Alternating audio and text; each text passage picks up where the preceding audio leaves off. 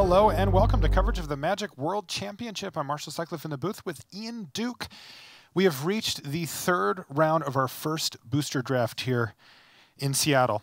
And uh, we've got two 2 0 players looking to win their pod here. Down in the feature match area right now, we've got Thiago Saporito of Brazil. He's sitting again at 2 0. Thiago qualified for the World Championship via Top Pro Points Latin America.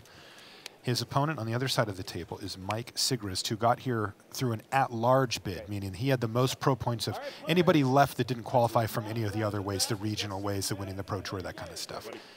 And a handshake here to kick things off between these two competitors. Who is going to be the one to 3 their pod? I can tell you we've got two pretty cool decks lined up here, Ian. On Thiago's side, he is playing white-black 18 land special with a lot of grind in it. Uh, you know, you see that with this color pair, particularly not even just here in this format, but more in general as well. This Orzhov thing going on, you know. Yeah, there there are elements of like you can do a little bit of token theme or delirium or things like that, but often, yeah, you're just playing a grindy deck that's a little bit more defensive, trying to get card advantage and win the late game. Now, on the other side of the table, we're really kind of hitting two different types of players here. We're, we're hitting the grindy player with Thiago Saporito. On the other side, I'd like to introduce you to some value here from Mike Sigrist. Sigrist, I, I went over and looked at his deck, and it looked, the word we like to use is sweet, which Okay. doesn't necessarily mean good, though I actually think his deck is good and sweet, which is, it's about as good as it gets right there. He's actually got three colors going in this deck. He's playing blue and green on his main, and then he's also splashing for red, at least red. Okay. so would you characterize it as like a greedy deck that worked out really well? Like he Yeah. actually has the mana fixing to support. That's exactly right. You see, he's got a Terrarion in his graveyard already. He's also got really one of the key cards on the battlefield, that uh, Scarecrow there, the Wildfield Scarecrow. You know, he can sacrifice that to get two of his colors. He also has a Primal Druid in the deck as well that he can use to search up uh, his splash colors, or in this case, one of his primary colors. And there we go. He's just going to go ahead and get both of them right now. And, uh, you know, it's really interesting to see here, Ian, because we've got two decks that are very adept at going into the late game, and they go about it a little bit of a different way. There's three Midnight Scavengers in Thiago Saporito's list, and he can really buy those back. You know, the, he's got that Ironclad Slayer thing going as well. So it will be really interesting to see how things move forward as we approach the late game. Now, the interesting, the little, the wrinkle here is on Thiago's side, he has two copies of Campaign of Vengeance, two of them. oh wow. And This when is- you're doing what Mike is doing, where you're like playing high toughness, low powered blockers and just trying to kind of survive for a long time, that can campaign of vengeance is a nightmare card to play. Yeah, it really can be. It's a card that's gotten a, a little bit of um, sort of skepticism, a little bit of malignity, perhaps, because uh, uh, it, it can be slow and inefficient and doesn't work out in certain board states. But I, I think the way that this game is going to play out, uh, it will be very relevant, as you said, Marshall. Yeah. So this is going to be really interesting to watch as basically Thiago's the only one who can really get off to a quick start, but it's going to take a very specific draw, and that's not what his deck is designed to do necessarily. So you can see Mike Sigrist already with three colors on the battlefield. He's got two of the four necessary types towards Delirium for that Moldgraf Scavenger, but he's working his way up there. Mike said, uh, I said, are you happy? Like, do you, do you like your deck? He said, this is a very Sigrist deck. He's also got multiple copies of that card right there. Somberwald Stag. Somberwald Stag. Yeah, Yeah. really strong card. Yeah, it's going uh, to swipe its antlers at one of those spirits and scare it off, and also provide a nice attacker on the ground. And Thiago's deciding if he wants to transform his town gossip monger. He decides against it. Now, I have to like Mike's spot quite a bit here. I mean, being a three-color deck and, and being able to find all of your colors of mana early, along with some early defense, is just where he wants to be. Check out his hand. Oh, wow, that's sweet. A little copy of Arlinn Kord there. Yep. I like it. And this is, I'm assuming, one of uh, one of Thiago's early picks here. As you know, I we, we didn't get to, I, I didn't get a chance to actually watch him draft, but he's got a Sanctifier of Souls here on the battlefield, which is a powerful four mana spell. You know, I think it's maybe a little short of that bomb quality card, but it's it's very good.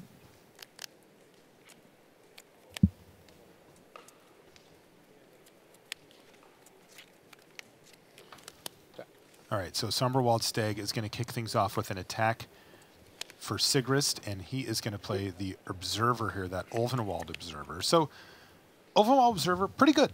You know, it's big, right? It's got it's got keyword big, Mm-hmm. if you will. Uh, it's just a big six six that's gonna really kind of gum things up. And then you can see that if you've got a creature with four or toughness and it dies, you draw a card, and that of course counts itself. And in fact, he's going to get a card out of it here. I got a 17, you got a 20. Certain Death is going to take down the big six six, but I gotta say, Sigrist isn't going to be too sad about that interaction, right? Yeah, I don't. I don't think so at all. I mean, he's happy to trade, uh, trade against a, an unconditional removal spell and get a card out of the deal.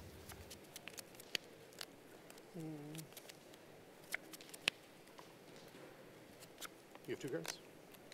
Yes. Uh, yeah. Block this guy, take three. 14. You see the Moldgraf Scavenger is going to block the Sanctifier, and Sigrist is going to drop down to 14 life. But again, when your opponent uses their entire turn and you get a card out of that transaction, it's not too bad. Uh, one interesting thing we have here as well is we have not seen Arlinn Kord yet from Mike. He preferred to be more mana efficient last turn rather than play Arlinn Kord, though. We may see her here. Oh, maybe not. Another Somberwald Yeah, Stag off I the think top. actually Mike is trying to set up a board state where he can defend Arlinn Kord as well as possible, just to try to get the maximum value out of her over the course of several turns. Wow, And look we- at this elk wow. beat down. Second copy of Somberwald Stag, a card that you're usually super happy to get just one of in a draft. Yeah, the herd is being assembled here, and uh, this could trample right over Thiago Saporito. And I'm going to tell you what, that's not all of the Somberwald stags that he has in his stack. Really? I'm not kidding. that is only two thirds of the elk family that he has uh, assembled here. So, I'm liking this deck more and more as I yeah, see, see more deck cards. is awesome. Also, Saporito, you know, outside of that Sanctifier, hasn't really been able to do anything super incredible. He's kind of challenging Mike Sigrist here and deciding if he wants to block. Of course, Thiago does not have a choice on attacking with the Incited Rabble or not. That is a must attack once it's transformed, and it's just a matter of if what Sigrist wants to do here. It looks like he's just going to go ahead and block. Yep, take one. In fact, he's going to chump block in this scenario. Yeah, Thiago does go ahead and pump up that uh, Rabble twice, giving Mm-hmm. it four power. Take out the Moldgraf Scavenger. Yeah, there's an Ironclad Slayer. No target, though, for Saporito. Kind of the sad Ironclad Slayer. And we do see Saporito starting to run a little bit low on gas here. Uh, he does have a decent board presence with a few creatures, but they're all pretty small. And Mike Sigrist's deck, I think, is uh, really well set up in the late game here with just bigger green creatures. And, you know, we really start to see the card advantage come to fruition here for Sigrist, right? We saw his six drop get killed, but he drew a card. We saw his wild field scarecrow get sacrificed, but he got two lands out of that. And then we've seen the Somberwald stags take down a couple of creatures as well. And, you know, that's the kind of thing that in the immediate doesn't necessarily make itself apparent, but now that the dust is settled, Sigrist has three cards in his hand, and Saporito has, you know, one. And, That's and that, that's what ends up happening. And speaking of val- uh, grinding out value and card advantage, here comes Arlinn Kord. Sigrist deciding this is the right turn to finally deploy his Planeswalker. He's got enough defense on the board uh, that he can keep her alive, hopefully for a couple turns. Yeah, that's all it really takes with Arlinn Kord. And he's actually going to plus Arlinn Kord on the Somberwald Stag and attack. That's going to give it vigilance and plus two, plus two until end of turn, and of course, bolster Arlinn Kord's loyalty from three to four here. Yeah, I like this decision a lot. It lets Sigrist keep up the pressure on Saporito. Um, often you can kind of like get into your comfort zone here. Like I've got a Planeswalker, I've got a couple of four threes. I just want to sit back and sort of uh, defend myself as much as possible. But there's a lot of value to closing out a game, especially against the white black deck where it can get an incidental damage with spirit tokens, with things like Campaign of Vengeance that you mentioned before.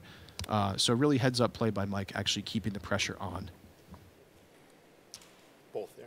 It is time. Yep. And now Sigrist is going to go ahead and trade off the other Somberwald Stag for the Incited Rabble to prevent Arlinn Kord from taking lethal. And here's an interesting one, though. Here's a Necropod now for Thiago Saporito. The Morkrut Necropod, of course, massive at 7 7. Yeah, we were talking about the green deck having the bigger creatures earlier, but uh, Morkrut Necropod is Now, pretty remember, out- remember pretty when I said outbig. that Mike Sigrist went deep? He went Elder Deep Oh, Fiend wow. deep. That's right. And he just used it to win the game. Mike Sigrist flashes it in and says, How about we just take out all those blockers and get you dead? So Mike Sigrist showing the value in value and winning game number one. We'll be back right after these messages. Booster Draft Leagues are coming soon to Magic Online. Draft and play at your own pace on your own schedule. Download Magic Online at mtgo.com and join a league starting this Wednesday, September 7th. Friday Night Magic is your local hangout where everyone is welcome. Gather with friends at your favorite game store every Friday night. For more info, visit magic.wizards.com/fnm. And welcome back to the feature match area here at the Magic World Championship. Yeah. We are on the precipice of PAX, which will be happening concurrently over the next few days with our World Championship here. We're part of it all. Why don't we take a look at one of our really awesome feature matches here that we have on the side there. We've got Owen Turtenwald versus Yuya Watanabe. That's right, our two Hall of Fame inductees as of a couple of months from now, or even even shorter now that I think about it. It won't be long until they're in. They are Hall of Fame elect, both of these two gentlemen. And these were also the two drafts that we covered here at the beginning of day one. So if you didn't get a chance to see uh, the draft walkthrough on those two players, you can go ahead and take a look at that in our archives when that gets posted. That's right. And if you did get to see it, this is kind of exciting. You get yeah, to see these the, two decks the battle. culmination here of these drafts. Indeed. Both players were feeling a little bit sketchy about their decks, not totally comfortable. They were seated next to each other and fought a little bit over white. Um, that said, you know, s- they're still holding their own here in this draft. Interesting um, tournament-wise as well. Uh, they're both one and one, Mm-hmm. and so you know, it's hard to understate it. But the difference between coming away with a two and one out of your draft deck is like, okay, I can deal with that. And you one and two, and it's like, tough start to the tournament. Yeah, I mean, not, not only there. is it one extra win versus one extra loss, but it's also the psychological factor of being able to finish your first draft with a, a positive record, I think is Mm-hmm. actually a really big deal. Yeah, and you know, I, I know I, I had a quick chat with Owen while he was building his deck, and he's like, you know, I just didn't open up anything super powerful. He's like, I'm mm-hmm. not unhappy with my deck, but you know, some you really hope to open a bomb or something to push you in a direction, and it just never really came together Yeah, for him. I think so we saw Owen like first pick a Dawn Gryff in pack two, if I recall correctly. So it's certainly not amazing. no, and so I, you know, I have to think that Owen actually would feel pretty decent about a two and one finish with this. This is this is actually quite interesting. Owen's really punishing Yuya Watanabe for that campaign of vengeance that he's got there. He's just tapped down both creatures. They didn't even get to turn sideways at all. Yeah, and that's that's one of the reasons why uh, a lot of players aren't super high on this card, um, just because you are investing five mana for a non-creature threat. It doesn't affect the board. It doesn't give you an advantage if you're not already ahead. Uh, that said, you know, over time it can chip away for a bunch of damage, and it looks like that's the way this game is sort of playing out so far.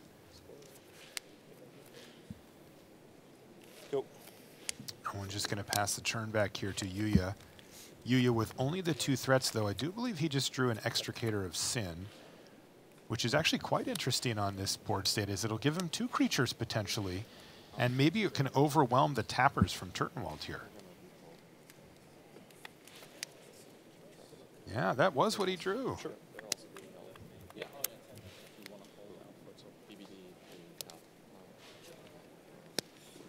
Okay, so he effectively gets two creatures for one card there. Even though one of them's an 0-3, it actually looks fine here as an attacker. It doesn't have defender.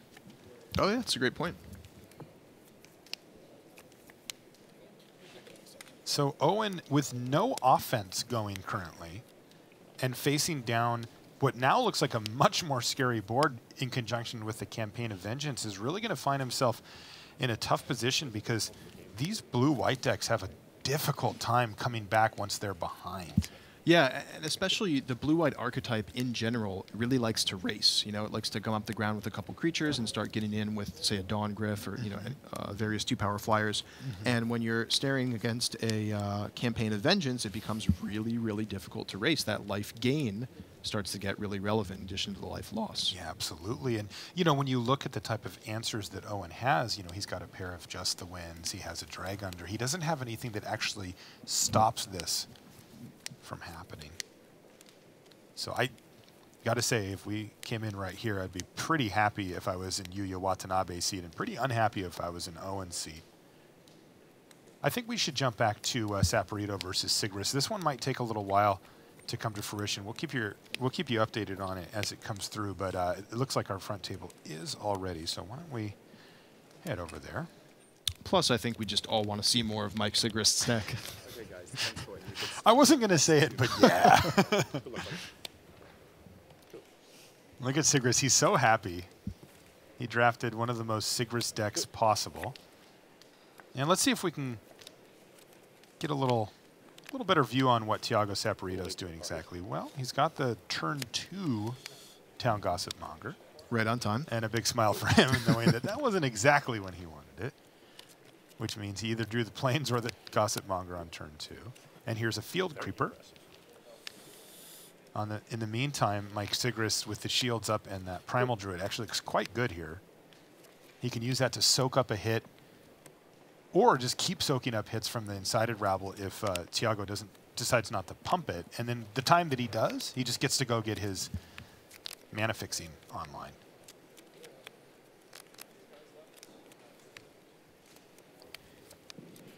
Sigrist is looking at his hand before making blocks.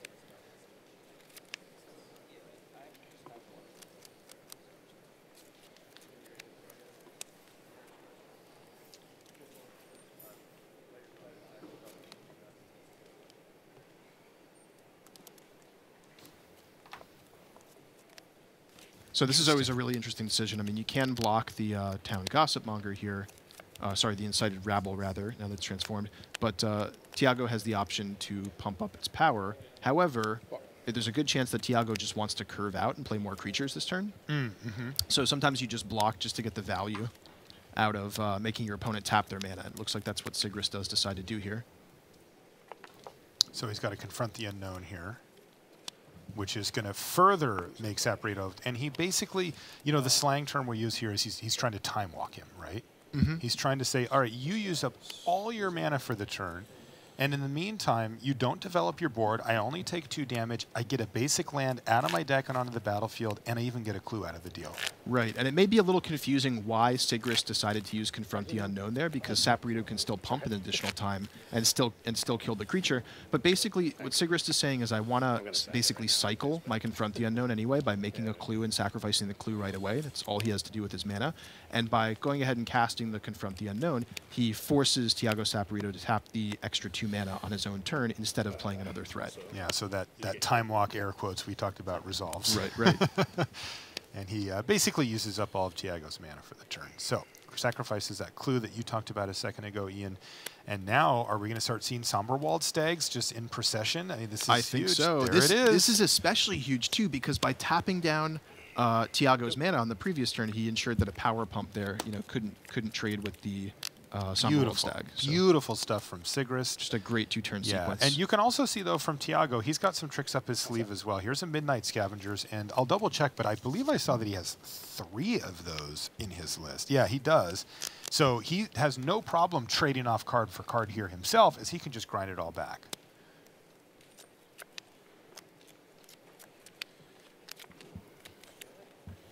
Can tell you that Thiago also does have one copy of Graf Rats in his deck, just in case anybody is hoping to see some uh, some meld happening here as well.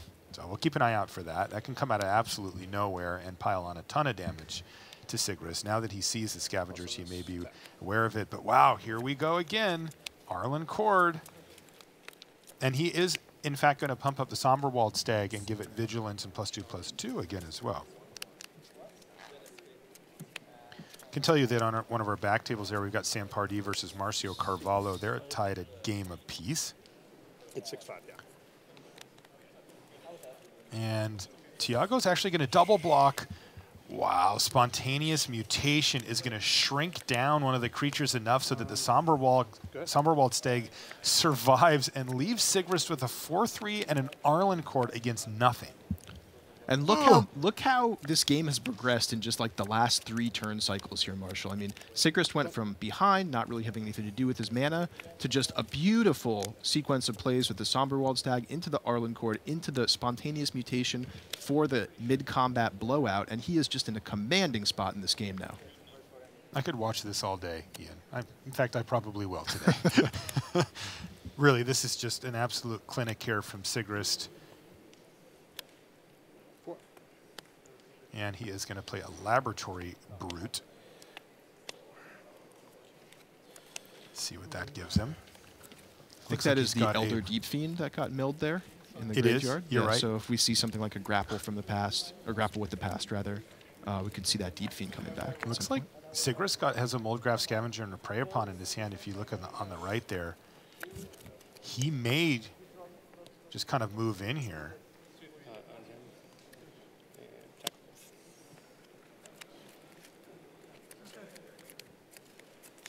Yeah, this is pretty brutal for Thiago because you know when you're in Sigrist's chair, and you've got Arlinn Kord just chipping damage in now, and significant amount of damage as well. It's unlikely that Thiago's going to be able to attack. And look at that turn. This is just insane. Like Mike Sigrist is just putting on a show at this point. Yeah, and th- this just really highlights like this is why planeswalkers can be so strong and limited. Is there's just there's so much to come back from, right? When you're losing on the board and you have to somehow get a creature in play to attack your opponent's planeswalker to deal with that, but you're also getting low on life total. It just sets up these situations where it's so so difficult to come back. Sigrist does have Delirium as well for that Moldgraf Scavenger because why not?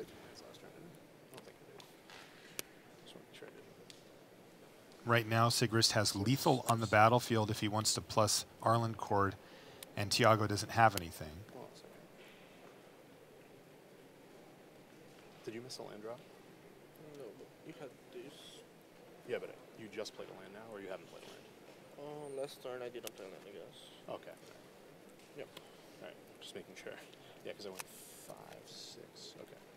Yeah, yeah, yeah, yeah. That's right. Go ahead. Because I played this with six mana up the turn before. I had this and uh, this and one, one green. Go ahead. Sigrist just double checking on his land count there, but it looks like it's all good.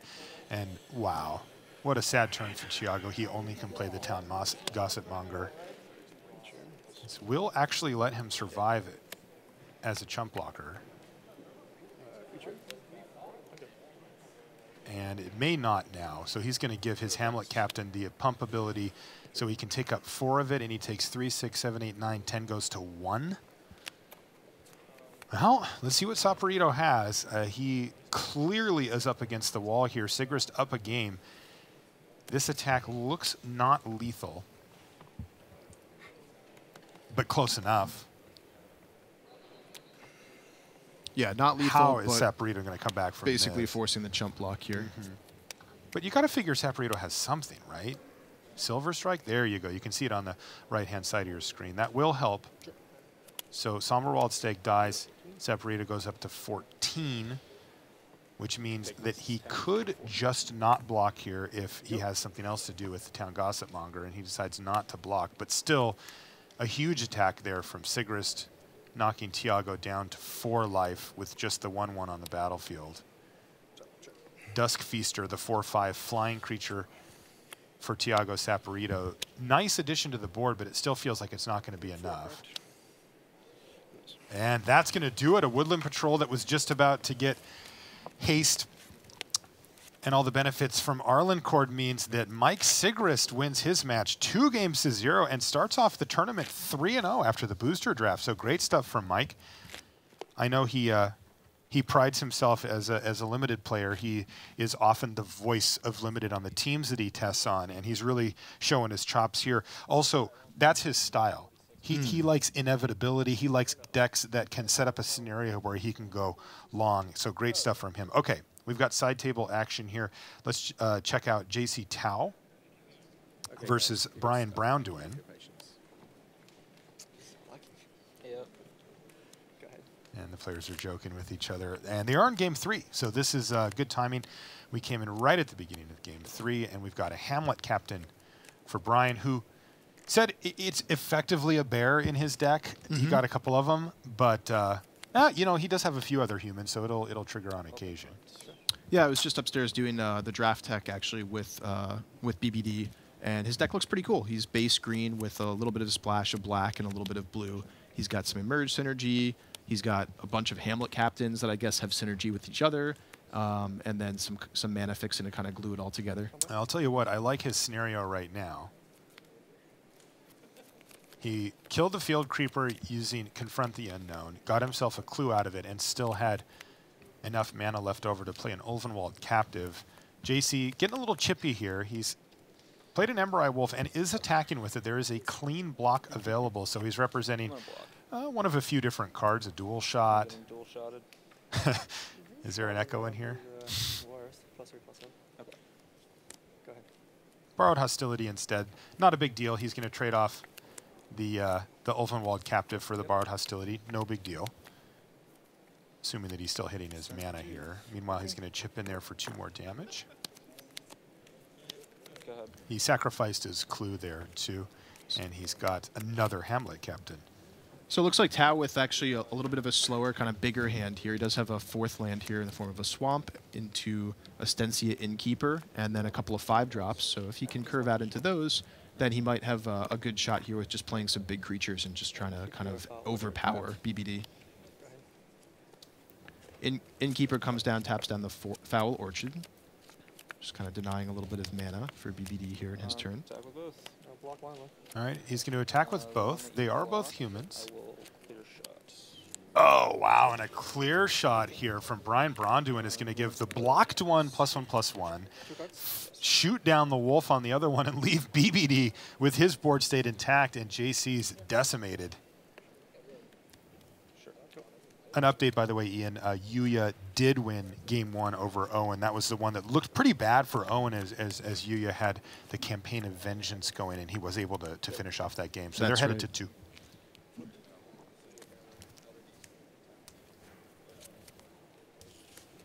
So Gatstaf Arsonist Yep. is going to transform here. And it looks like BBD may be out of gas. Yeah, it's interesting. The the uh, Gatstaf Arsonist came down, and uh, BBD declined to attack with either of the Hamlet captains, showing he doesn't really have a trick or a removal spell. So JC probably feeling pretty good after that uh, turn sequence there. After that clear shot blowout, he was probably getting a little bit nervous, hoping BBD didn't have a nice follow up to that. And sure enough, he did not. So this is back into being anyone's game at this point. Yeah, but a pair of five drops in a row for JC Tao is really nice. Okay, but an Intrepid Provisioner is going to get one of the Hamlet captains up to a 4-4. He's going to offer the trade for the Vildin-Pack Outcast. JC's going to politely decline the offer, keeping his much more powerful 5-drop on the battlefield, knowing that as time goes on, he can keep it there, though it does look like Murderous Compulsion took down the Gatstaf Arsonist. Still, there's a Vildin-Pack Outcast on the battlefield, and now a Pyrehound as well.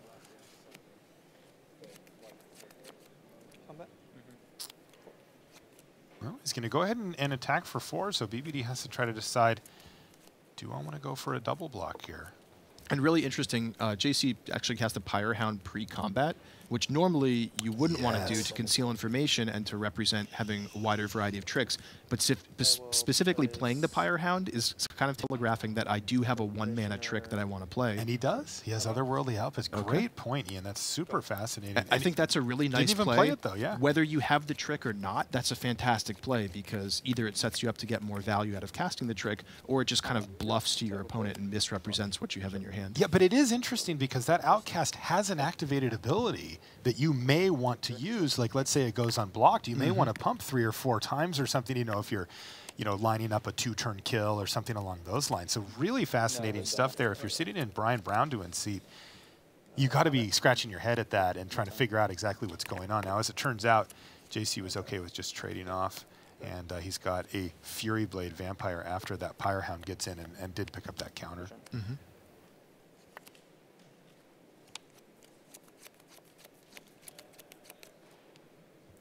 This is game three, and this is a big turn. You're going to see JC take a little moment here to reassess the board state and figure out exactly what's going on because this is important turn in the game. This is, and, and in fact, the match. Remember, both of these players also in their own pods are sitting at 2 and 0. The winner of this game is going to come out of the World Championship draft pod number 1 at 3 and 0. Uh, you know, there's only three pods. only three players can be 3 and up. Yeah, this is a really exciting game state here, Marshall. Uh, I mean, we've had lots of creatures trading off in the early game, a little bit of a back and forth here with BBD starting off strong, then JC kind of taking back the mid game. And now that the dust is settled, there's actually very few creatures on either side of the board, and both players at middling life totals. This could come down in, in large part just due to top decks on the next couple turns. So I think, uh, I think BBD needs one. It looks like he, he drawn a few definitely does. lands in a row BBD for here. sure is is behind on the board here, only with a land in hand. But all it takes is one big creature potentially to get him back into this. Duelist. Sure. All right. Okay. Combat. Mm-hmm. Oh, he's going to play Voldaren Duelist. Make sure that that creature, the Hamlet captain, cannot block Oh wow! and jam the uh, team in. Seven. That's going to put Go. Brian down to three. Can he find something? He, he had a swamp in his hand, having drawn few too many lands in the late game here in game three. Go. What did he find? Well, a woodland patrol. It is a creature that Beginning of combat. Take does not leave him alive if he has nothing in hand. And I think that JC is going to say, I don't think you have anything. These are all lethal threats. Brian Braun-Duin with the swamp has to extend the hand. And JC Tao, he's been drafting a lot this week to line up. You know, he did say that it's tough for him without being on a big team to get the reps. And he also has a full time job as well. But he's been drafting up a storm this week on Magic Online. And it paid off 3 0 out of the first draft for JC. Congratulations to him. Which means, of course, that we get to jump over to the other side of our lavish stage here in Seattle and see what Yuya Watanabe and Owen Turtenwald, what kind of board state they found themselves in. We did get a chance to see this a little bit earlier, black-white for Yuya Watanabe and blue-white for Owen. Again, Yuya did pick up that first game that we checked in on, which means this is in the middle of game two. And you can see that Owen has a pretty good start here with a Lunarch Mantle. Ooh, and now he looks like he's really curving out with a Dawn Gryff here as well, though I- I'm not mistaken, he had missed a land drop somewhere in there, right? That looks to be the case. Yeah, because he, he, he should have been on the play of this game as he, he did lose the first game. So it looks like right on time he hit that third land to get the Dawn Gryff down. But the Thraben Inspector is going to do a lot of damage. He's down to 11. And Yuya here with the Vessel of Ephemera already invested mana into that. It's not affecting the board right now. If he does want to go ahead and sacrifice, he's going to have to spend a bunch more mana. You know, he has a similar effect here with the Haunted Dead. Another update from one of our back tables. Marcio Carvalho has defeated Sam Pardee. He's 3-0 in the draft, so our draft master is in fact 3-0 in booster draft here at the World Championship. And uh, that means that it's Mike Sigrist, JC Tao, and Marcio Carvalho are the ones who uh, managed to emerge from their pods as this 3-0 player. So great stuff. Now, a super important match here, though. We mentioned it a minute ago, Ian, but the, the difference between a 1-2 and a 2-1, you said psychologically and also just as far as record goes, is a big deal. And, uh, you know, Owen has to win back-to-back games here against Yuya Watanabe if he's going to salvage that. Now, I got to say, he's looking to be in pretty good position to do so here. Yeah, he's looking very, very good here. At the pair of Dawn Gryffs as well as the Lunarch Mantle. He can really go to the skies here. Yuya is pretty quickly going to be in chump block mode with all these spirits, and uh, you know, having to spend mana on his own turn, make more spirits, and then only just block with them is not really getting him back into the game in the way that he needs.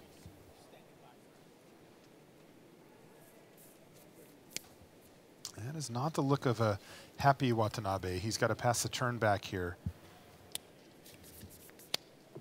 and leave up that mana for the Vessel of Ephemera if he'd like. Maybe something else, who knows.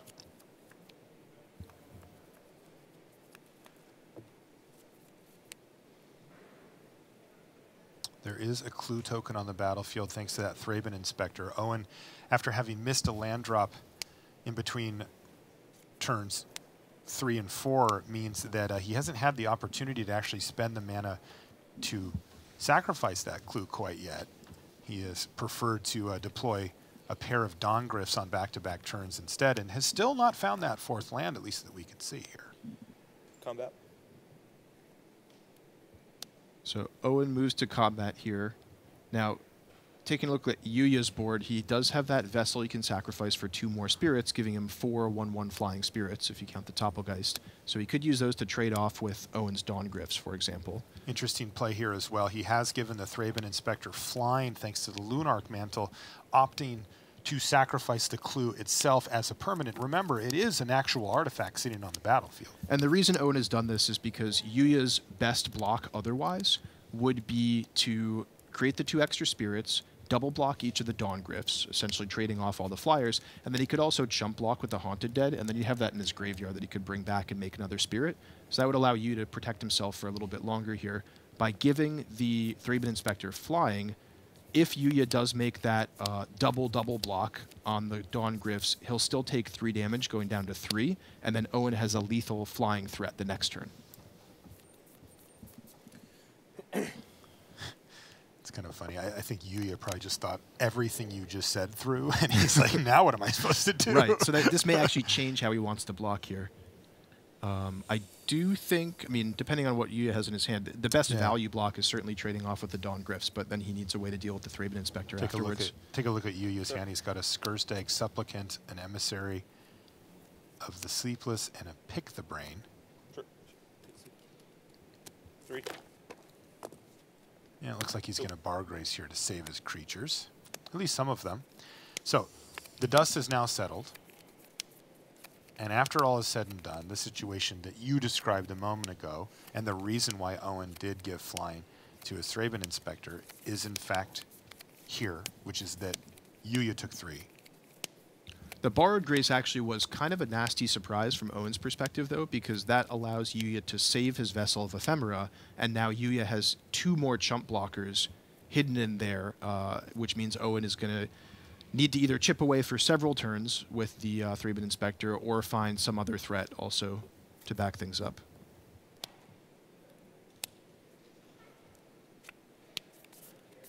Owen was really hoping to close that game out in a, in a hurry, as these mana issues can really catch up to you. Though, if he does have Yuya this far on his heels, you know that could just buy Owen the time to find a little bit more mana. Anyway, that does happen occasionally as well. Yeah, and Owen has uh, has slowed down here. He is not attacking anymore. He doesn't want to give that block with the Haunted Dead, and he didn't have a spare permanent that he wanted to sacrifice there to give his uh, Thraben Inspector flying just to get chump blocked anyway. Right. I mean, he could have sacrificed a land to attack with the Inspector this turn, but really all he's doing there is just trading his own land for a 1 1 spirit token of Yuya's.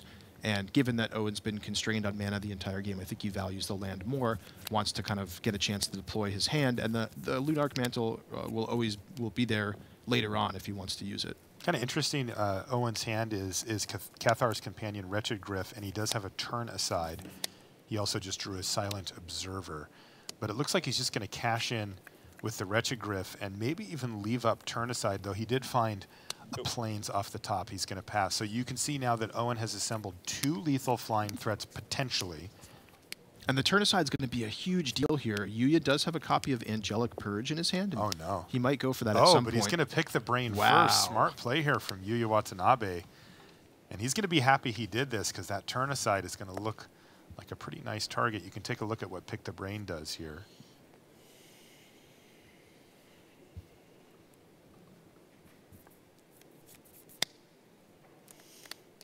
Don't think that Owen has multiple copies of any of these cards, so he is just going to get to take this. But you can see that um, that Yuya does have Delirium. So he's going to get to search the graveyard hand and library, take a look at what Owen's working with.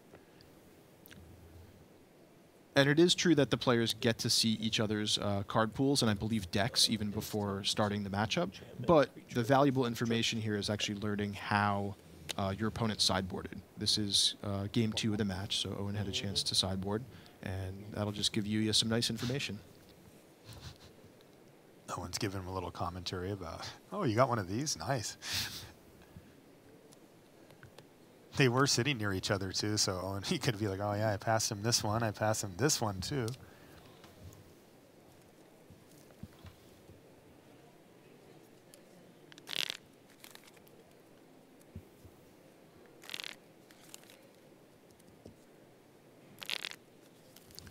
So Yuya takes that turn aside, clears the way for a potential Angelic Purge at some point. Uh, also gets to take a peek at Owen's deck. There's no more copies of Turn Aside in the deck, of course. So really just looking for the, the information there.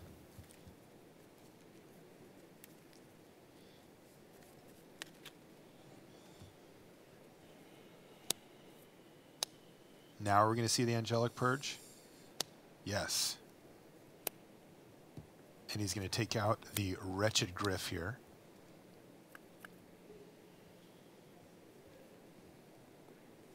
And pass the turn back to Owen Turtenwald. Owen is so close. He's got him down to three life. He just had two, basically three powered flyers. And he just has not been able to chip in for that last three points of damage. Yuya Watanabe just hanging on for dear life.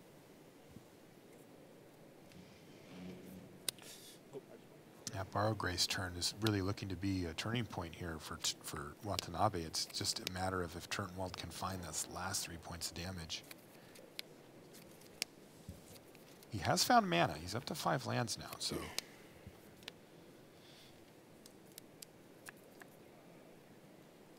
Make that six.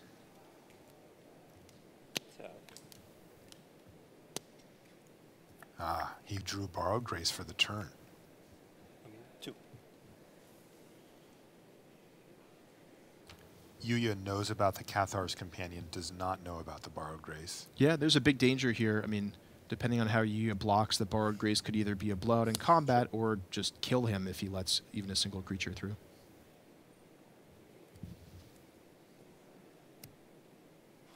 It looks like Yuya discarded the Skirsdag Supplicant to the uh, Dragoon there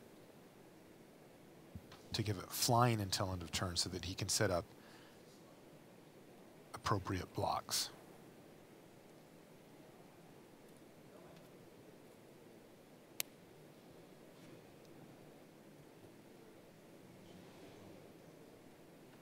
So he's put a 2-4 which cleanly blocks that card, but he can also pile on a couple of extra blockers to try to get that thing off the battlefield. It's a 3-4 with flying right now. This is a crucial moment in the game, depending on how Yuya blocks. One, two. Yeah, and once he orders him that way, then Yuya knows immediately what's about to happen. You see him say, yeah, yeah, yeah, and there it is. Borrowed Grace for the blowout wipes away all the blockers. Yuya was really hoping that Owen hadn't drawn that particular card, and uh, that is exactly what he found. And this is going to make life incredibly diff difficult for Watanabe and may force this match into a game three. Attack, give flying, force the chump block, drop you to two. And now he's got another lethal threat with that Steadfast Cathar as well.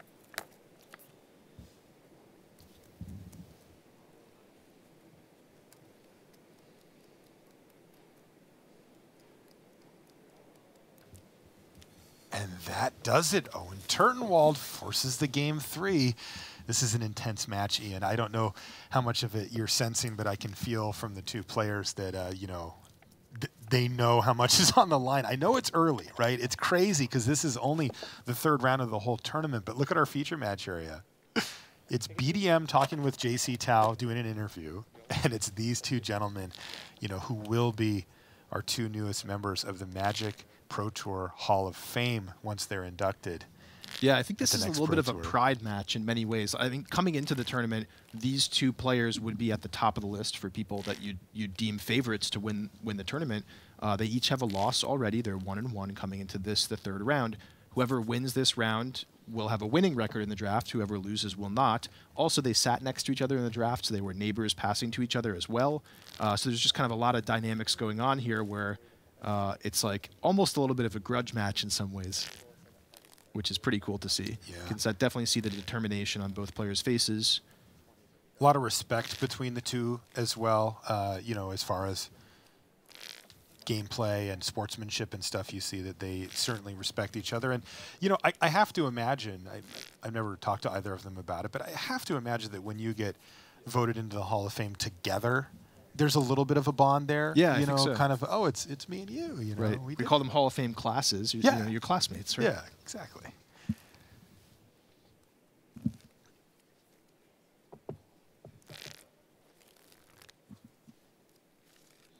All right, so we see these two elite competitors shuffling up and getting ready for what is going to be a pretty important game three for this tournament. Uh,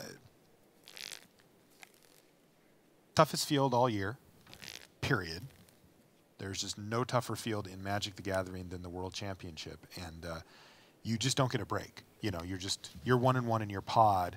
You know, if you're at the Pro Tour, you're kind of hoping to sit down to somebody that you've never met before. Hey, is it your first Pro Tour? How you doing? You know, like, and here it's like, okay, here's Yuya, and the next round, you know, we're going to be moving into Standard, and you're just going to be battling against a bunch of ringers for the whole entire tournament. That you do not get breaks here. That's right. Yeah, the difference between playing in a 400 person pro tour and a 24 player world championship is just immense. Yes.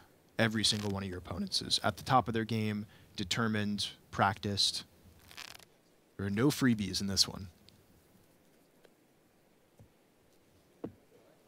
Both players looking relatively calm. I mean, they've both been here before. This isn't, you know,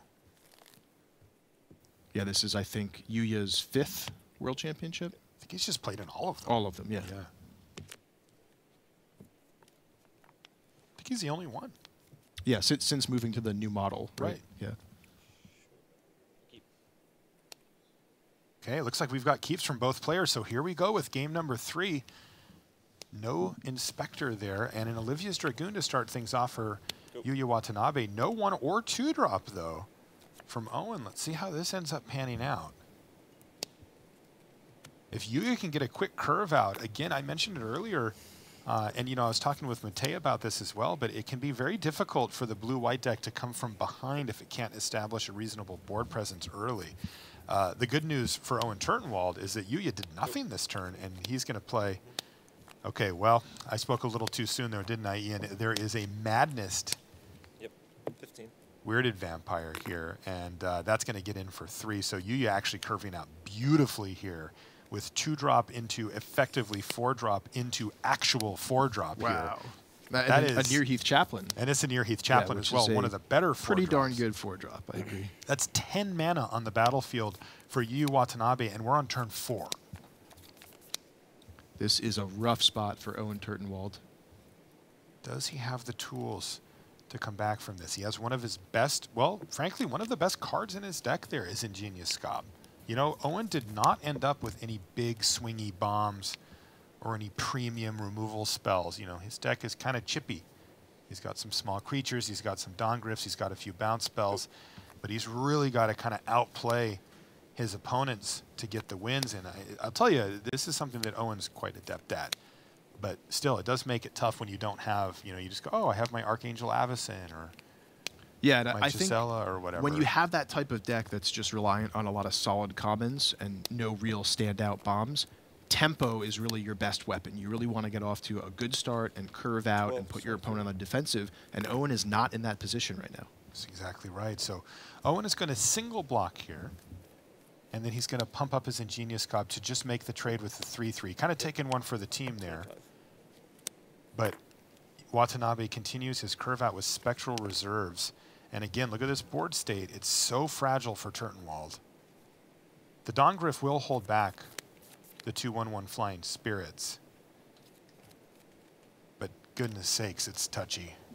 Yeah, that Nearheath uh, Chaplain's just so hard to deal with too. I mean, it can keep chipping in, and if Owen decides to trade with it, that's just putting more, you know, more spirits uh, available for Yuya out of the graveyard. Yeah, there's Laboratory Brute from Turtenwald. He does see one of his best cards as well, the Welcome to the Fold, which would look pretty decent here, uh, hit the graveyard, unfortunately for Owen. 9 to 28. In the meantime, just the Nearheath Chaplain's going to hit the red zone. Owen throws his hands up and says, Yeah, I'm taking it. You're gaining the life, and I'm losing it. Also, Owen Turtenwald, interestingly, the last two turns has left up that one blue mana. Last time he used it on his uh, Ingenious Skaab, but he does have turn aside in his hand here. And so as Yuya Watanabe is just going to continue to build his own board out. with the Emissary of the Sleepless. Go. Looks like a Cathar's Companion there was cast by Turtenwald. And then he passed the turn back now with three mana available.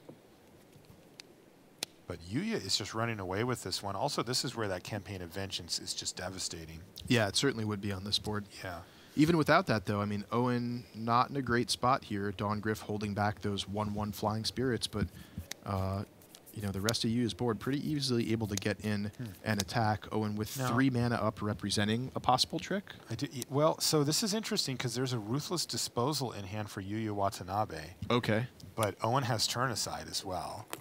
Seven. So this could get tricky. In the meantime, Yuya's just going to keep attacking, and Owen finally has traded off for the Nearheath Chaplain, which it looks like Yuya's going to cash in right away for another couple of 1-1 flying spirits. Yeah, I think Yuya's in a commanding enough position that he doesn't need to take a risk on the ruthless you're right. disposal. I think I, you're I'm right. sure, as you noticed, Marshall, Yuya also noticed that Owen had been leaving up a single blue mana for several turns there.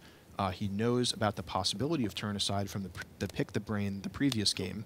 Exactly. So I, I doubt we'll see him walk in to something like that unless he has to, and I, I don't think he has to. And he doesn't have to. You know, he, he he gets to keep making good use of his mana. Now he drew a Haunted Dead, and he gets to just keep building his board out. And the truth of the matter is that Owen has flooded out a little horrifically. He has, here. yeah, He's he got has. multiple. He still has two lands in his hand, on top of everything else. And Yuya's had enough sitting around. He's going to attack with everything, dropping Owen Turtenwald down to two life. And Skirsdag Supplicant represents lethal on its own.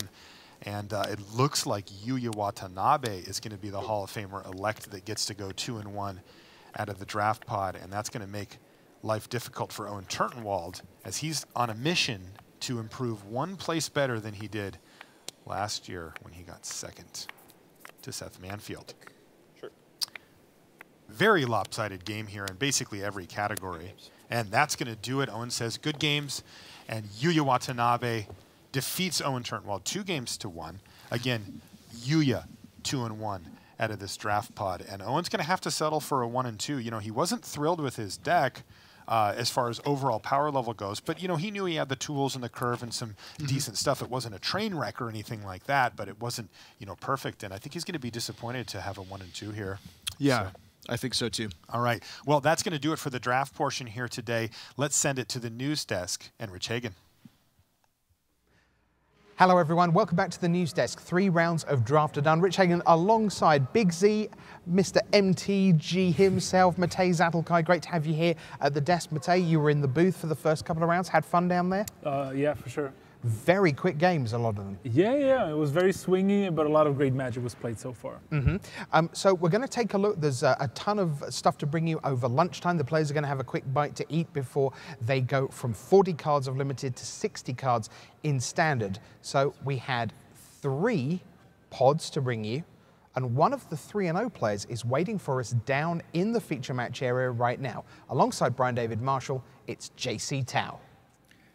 Thanks, Rich. I'm here with JC Tao. JC, uh, you were at the featured draft table. We, we get to go look back at your draft in the draft viewer uh, once it's up. What, what were the picks for you in this draft that were so crucial that uh, allowed you to go 3 0 here at this table? Uh, the most important pick, I think, was uh, Boon of Emrakul in Pack 2. That was a relatively weak pack. I was already in red, had some green cards, and I just didn't want to take anything. So I took that card as a hedge. And a couple cards later, I got the Bloodhall Priest, and uh, things, things started falling into place. You, you ended up with a, a pretty solid red black deck. Um, and, and obviously, very solid. You went 3 0 with it. But the thing that was interesting to me is you talked about putting a lot of your preparation for this event in in the limited format. You, you were like takeout containers and just Magic Online and people like screen sharing with you. Yep. Um, limited is first of all just the most fun format for me, so it was very easy for me to fall into into this uh, system where I would just go home after work and draft uh, throughout the night. And also, I felt like that was the area where I could realistically have the bet uh, gain the most edge against my opponents. Now, uh, so you have this deck that you drafted. Is there something that's in this deck that demonstrates all that preparation you put in? Are there any cards that you played with that maybe you wouldn't have played with, or draft decisions you would have made differently without that vast amount of preparation? Um, yeah, I had a prophetic ravings. It was a card that I initially discarded, um, disregarded uh, on on side of the sets release, and now I've sort of come around to it being situationally situationally good. And, and it was good for you. It was in your main deck for this uh, for this draft. Yes, and it worked out pretty well.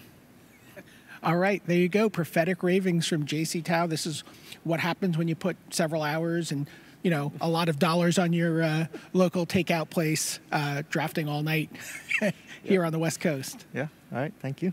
All right, thanks, JC. Sending it back up to you, Rich, at the news desk. Thanks to Brian David Marshall and to JC Tao, one of your 3 0 players. Why don't we see how JC got there? Take a look at his pod. It was pod three, technically. Um, 24 players came in, that neatly divides into three draft pods. Here is the first of those. So we see JC Tao at 3 and 0.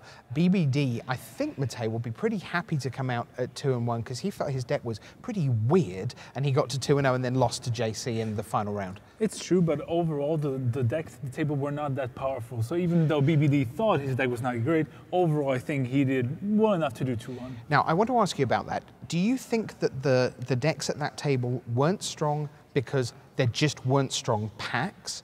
Or is it that because everyone at this level is generally not making mistakes and is picking the best card, that the good cards dried up very, very quickly, and a lot of players ended up in essentially more than two colors, or th they played two colors but had a lot of extra playable cards that other people could have used. It was more the first case. Okay. In general, the packs dried up fairly fast for Mhm. a lot of players. And we saw that, you know, in Turtenwald's draft. He started off with three blue cards, and for the rest of pack one, he just didn't see any blue cards at all. Right. And we saw that in the draft table, he didn't even have that many blue drafters. So it was just a case of packs gone wrong.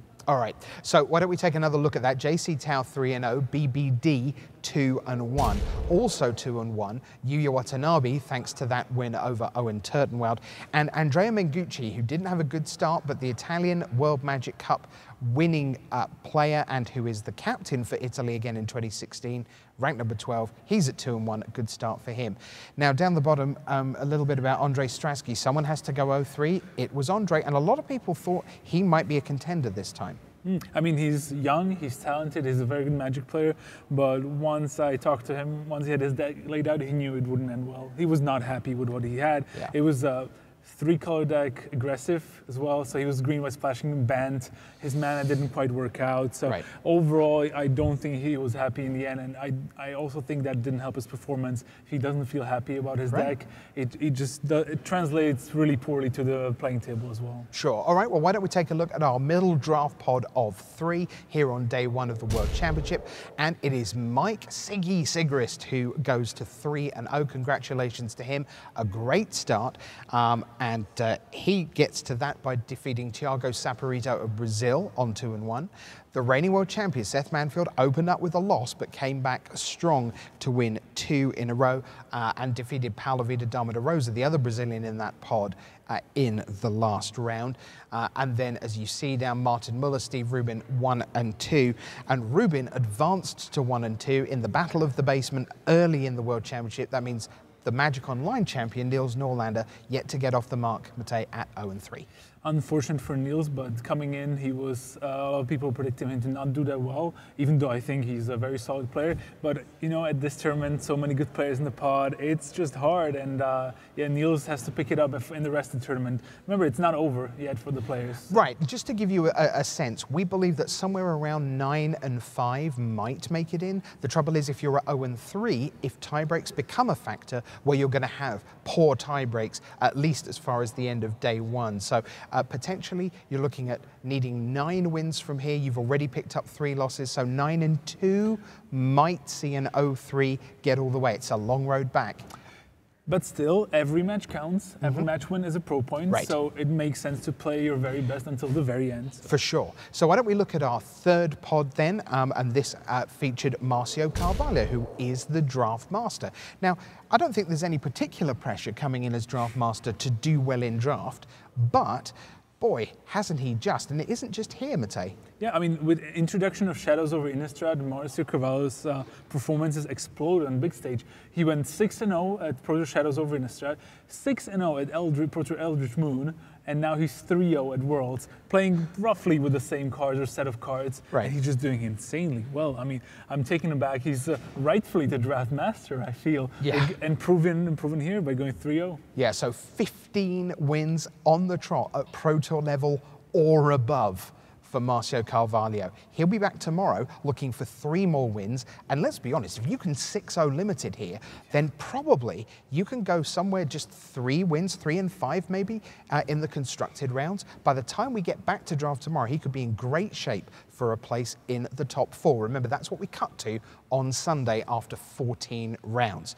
Okay, so let's take uh, another look at uh, our overall leaderboard then. This is the 24 players. This is how they have done on our first morning. It's, of course, symmetrical all the way, as it must be. Uh, so JC Tao, Marcio Carvalho, and Mike Sigrist are your three and O's. Everyone else on the left-hand side at two and one.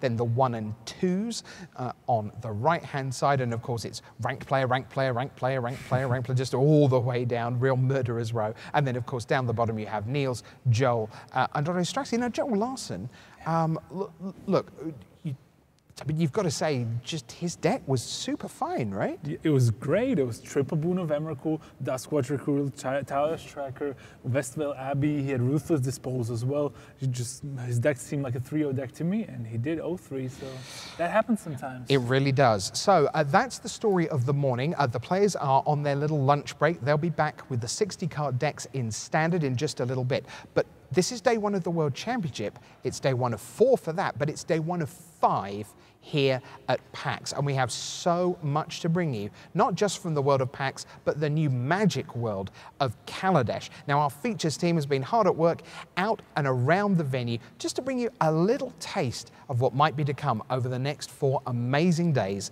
here at PAX.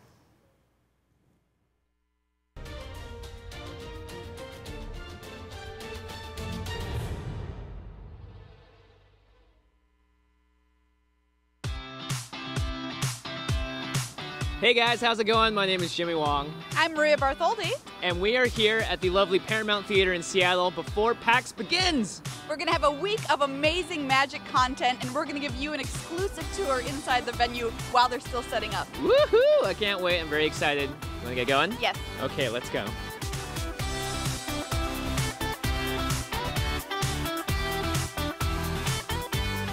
So Magic has always done really amazing stuff at PAX, and this year is no different, except that they're kicking it up a notch. They are taking over the entire Paramount Theater, which is an iconic location here in Seattle, and filling it to the brim with awesome stuff from Kaladesh. Yeah, and I'm super excited. We've spent two whole sets in Innistrad, which is dark and gloomy, and Kaladesh, yeah, very spooky.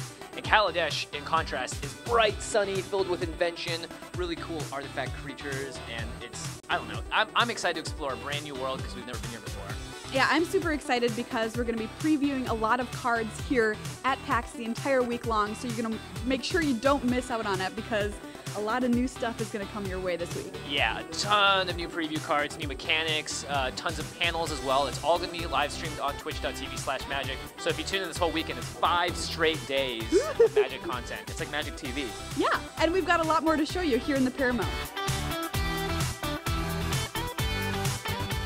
So right now we are in front of the main stage here at the Paramount where the majority of the action is going to be live streamed this weekend, including the opening and closing ceremonies that I'm going to be hosting. Yeah, there's also going to be a ton of really awesome panels. So Drive to Work in Blogatog with Mark Rosewater, which is going to be streamed, as well as a world building panel where we'll get to explore Kaladesh some more, a story panel, and PAX Builds the Card panel, where everybody in the audience will get a chance to actually design a card. Ooh, that's cool. What would you design? I would design, since this is an artifact set, I would design a really nice set of cutlery. So like a fork, a knife, and a spoon card, but really fancy fork, knife, and spoon. It's like Saheeli's cutlery. Yeah. it's legend. They're all legendary. They're all legendary? Yeah. What would you design? I don't know. Cutlery kind of takes the cake.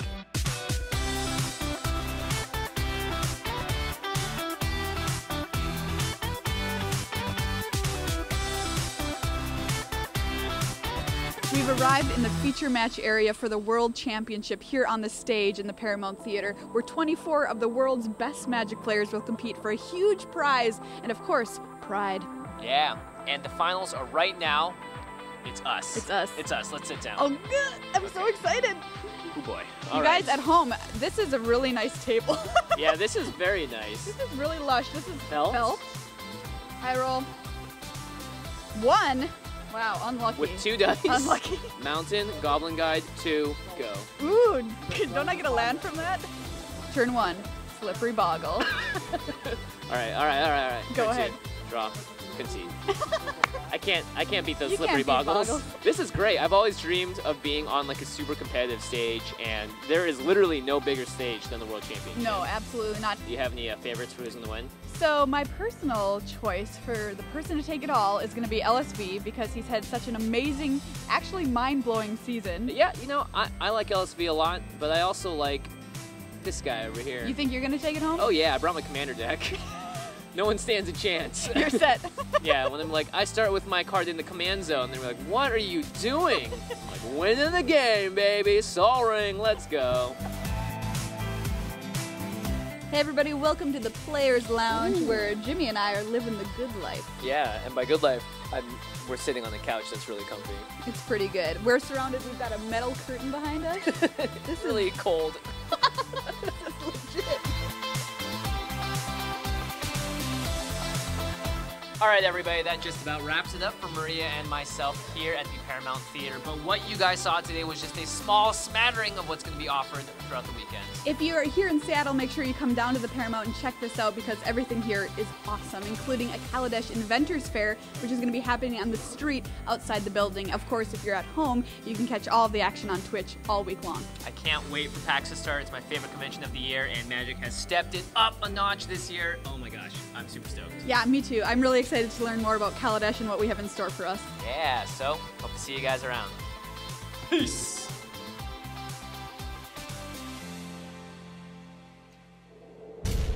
All right, thanks very much to Jimmy and Maria there. Now, here comes the math bit. You're wondering, when do we get to see all this cool stuff? We're going to take you through our broadcast schedule for the next four and a half days. We've got three rounds in the books and an absolute marathon of awesome still ahead of us. Why don't we take a look? So here's when things start each day.